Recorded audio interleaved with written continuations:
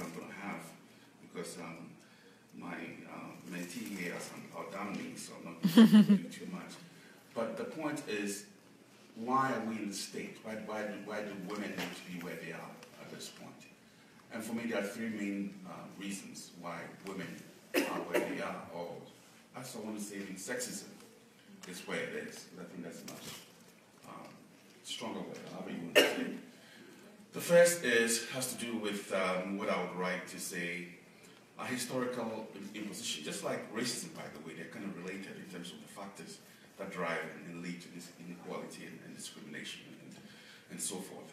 So it's historical imposition. We've, we've had a history where we've always denied women of their dignity and rights. And so that's a key thing we have to, we have to recognize. And in history, over time, women have always been put and subjugated um, as far as um, their relationship with, with men